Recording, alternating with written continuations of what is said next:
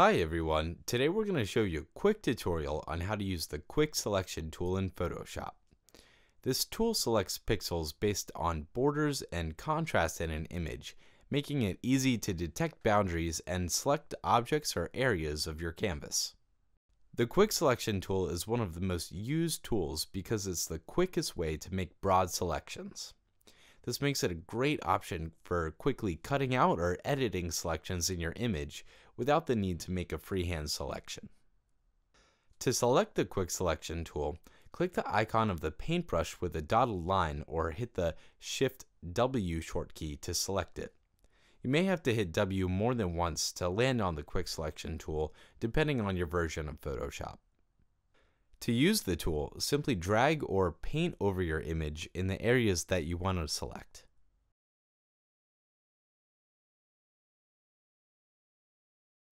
You can adjust both the size of the brush and how hard or sharp the edges are.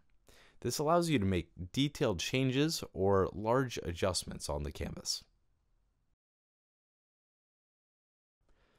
In the top menu bar, the plus option on the brush adds more to your selection. If you accidentally select too much or the brush grabs a little extra content that you don't want, you can hit the minus option to subtract from your selection. The quick selection tool sacrifices a little accuracy for speed, but is a favorite among Photoshop users because of how quickly you can get jobs done.